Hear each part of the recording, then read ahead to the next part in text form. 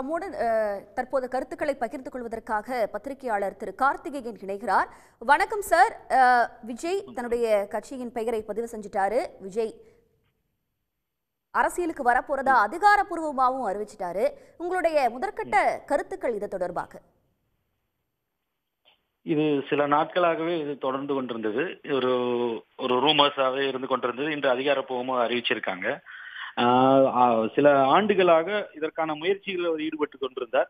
உள்ளாட்சி நகர்ப்புற உள்ளாட்சி தேர்தல் அதற்கு முன்பு கிராமப்புற உள்ளாட்சி தேர்தல்லாம் வந்து அவருடைய கட்சியினுடைய விஜய் மக்கள் இயக்கத்தினுடைய மன்ற நிர்வாகிகள் அது கண்டெஸ்ட் பண்றதுக்கு அலோவ் பண்ணாங்க. ஒரு சில இடங்களில் நல்ல விதமாகவும் அவர்கள் வெற்றிகளை பெற்றார்கள் ஒரு சில பகுதிகளில். அப்போ அதன் தொடர்ச்சியாக எப்பொழுதாவது இவர் நிச்சயம் வந்து அரசியலுக்கு வருவார் என்று எதிர்பார்க்கப்பட்டது. அந்த காலம்தான் வந்து தெரியாமல் ஒரு ஒரு சஸ்பென்ஸாக இருந்தது. அதை இன்று வந்து அவர் முடிச்சிருக்காரு. முடிச்சு அதிகாரப்பூர்வமாக அனௌன்ஸ் பண்ணியிருக்கார். என்ன ஒரு வித்தியாசம்னா வ- ஒரு பொதுவாக இந்த மாதிரி அரசியல் கட்சிகள் நடிகர்களாக இருந்து அரசியல் கட்சி ஆரம்பிக்கக்கூடியவர் அரசியலுக்கு வரக்கூடியவர்கள் பொதுவாக சொல்லக்கூடிய அதே முழக்கமும் இவர் இதுலேயும் இருக்கு. ஊழல் ஒழிப்பு நிர்வாக சீர்கேடு அப்படின்றத வந்து இதே முழக்கத்தை தான் வந்து கமலஹாசன் வைத்தார். இதே போன்ற முழக்கத்தை தான் ரஜினிகாந்தும் பேசினார். கடைசியில் அவருக்கு அரசியல் வந்து விலகி விலகிவிட்டார். தனிப்பட்ட காரணங்களுக்காக. விஜயகாந்த் அவர்களும் மாற்று இதே அந்த இது போன்ற விஷயங்களை தான் முன்னிறுத்தினார் எல்லாரும் சொல்லக்கூடிய அந்த பொதுவான விஷயம் வந்து ஊழல் ஒழிப்பு நிர்வாக சீ- சீர்கேடு அப்படின்ற விஷயத்த சொல்லிட்டு மக்கள் நலன் அப்படின்னு பொதுவாக பேசக்கூடிய விஷயங்கள். ஒரு சின்ன வித்தியாசம் ஆஹ், விஜயோடைய இன்றைய அந்த அறிவிப்பில் வந்து பிறப்புக்கும் எல்லா உயிருக்கும்னு சொல்லிட்டு ஒரு சமூக நீதி சார்ந்த ஒரு கருத்தையும் முன்வைக்கிறார். அதாவது இவர் மா- மாநில அரசு இங்க இருக்கக்கூடிய இப்ப மாநிலத்தில் இருக்கக்கூடிய அரசு மீதும் ஒன்றிய அரசின் மீதும் வந்து ஒரு சமதூரத்தில் அவர்களை வந்து வைக்கிறார் அப்படின்றத புரிஞ்சுக்க முடியுது. இங்க வந்து ஒரு மாநிலத்தை பொறுத்தவரை வந்து ஒரு ஊழல் படிந்த ஒரு அரசு நிர்வாக சீர்கேடுன்னு சொல்லும் பொழுது மக்களை ஜாதியும் மற்றும் மத ரீதியாக பிளவுபடுத்தும் அரசியல் ஏற்றுக்கொள்ள முடியாது.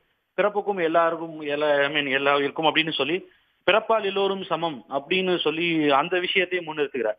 சோ பாஜகவினுடைய அரசியலையும் இவர் எதிர்ப்பதை தான் வந்து ஒரு சூசகமாக அவர் க- கோடிட்டு காட்டுகிறார் அப்போ மதவாத அரசியலுக்கும் ஜாதி அரசியலுக்கும் எதிராகவும் அதே சமயம் பொதுவாக வழக்கமாக பேசக்கூடிய அந்த ஊழல் எதிர்ப்பு இங்க இருக்கக்கூடிய நிர்வாக இப்போ ஒரு ஆட்சி இருந்து கொண்டிருக்கிறது. அப்போ ஊழல் பணிந்த அரசு நிர்வாக சீர்கேடுன்னு சொல்லும் பொழுது அப்போ திமுகவையும் அதிமுகவையும் எதிர்ப்பதற்கும் அவர் தயாராகிவிட்டார். அதே நாள் அவர் சொல்லக்கூடிய விஷயமே வந்து பாராளுமன்ற தேர்தலில் போட்டியிட மாட்டேன். இரண்டாயிரத்தி இருபத்தி நாலு சட்டமன்ற தேர்தலில் தான் வந்து களம் காண போறோம்னு சொல்றாரு. மாற்றத்தை முன்னிறுத்தி மக்களுக்கு ஒரு விடிவை வந்து ஏற்படுத்த போறோம்னு சொல்றார். அப்ப திமுக அதிமுகவுக்கு எதிராக களம் காண போகிறார் என்பதை பிரகடனப்படுத்துறார். அதற்கு வந்து ஊழல் ஒழிப்பு நிர்வாக சீர்கேடுகளையும் சொல்லி முன்னிட்டு கோடிட்டு காட்டக்கூடியவர். மதம் மற்றும் ஜாதி அரசியலுக்கு எதிரான பாஜகவை வந்து நேரடியாக அஹ், மறைமுகமாக வந்து சாடுகிறார். சோ இவர்கள் இரண்டு பேரையுமே வந்து எதிர்த்து ஒரு மாற்றாக முன்னிறுத்தி ஒரு அரசியலை முன்னிறுத்துகிறார். அதற்கு வந்து அந்த கொள்கை ஆனால் அடிப்படையில் நம்ம இது பார்க்க வேண்டிய விஷயம் இதை தாண்டி என்ன கொள்கையை வந்து வெளியிட போறார்? இது அடி மேலோட்டமாக சமூக நீதி அதே போல ஊழல் ஒழிப்பு போன்ற விஷயங்களை சொல்லியிருக்கிறார். மித்த விஷயங்களில் இவருடைய பார்வை என்னன்றது நம்ம பொறுத்திருந்து ஒரு கொள்கை ரீதி என்ன ஒரு கொள்கை விளக்கம் வந்து இவர்கிட்ட வர வேண்டும். அதை பார்க்கும்போது தான் தெரியும். ஆனால் இதுவரை வந்த அறிவிப்பிலிருந்து நம்ம அவருடைய அறிக்கையிலிருந்து தெரிந்து கொள்வது பாஜக திமுக இரண்டையும் வந்து அவர் எதிர்த்து இரண்டாயிரத்தி இருபத்தி ஆறை வந்து மையப்படுத்தி அவர் ஆட்சி அமைக்க வேண்டும் என்ற கருத்தில் தான் வந்து ஒரு ஒரு பார்வையில் தான் வந்து அரசியலுக்கு வந்து பிரவேசம் காண்கிறார்ன்றது புரிவா தெளிவாக புரிகிறது. ஆனால் இருபத்தி நாலில் வந்து யாரையும் ஆதரிக்க மாட்டேன்.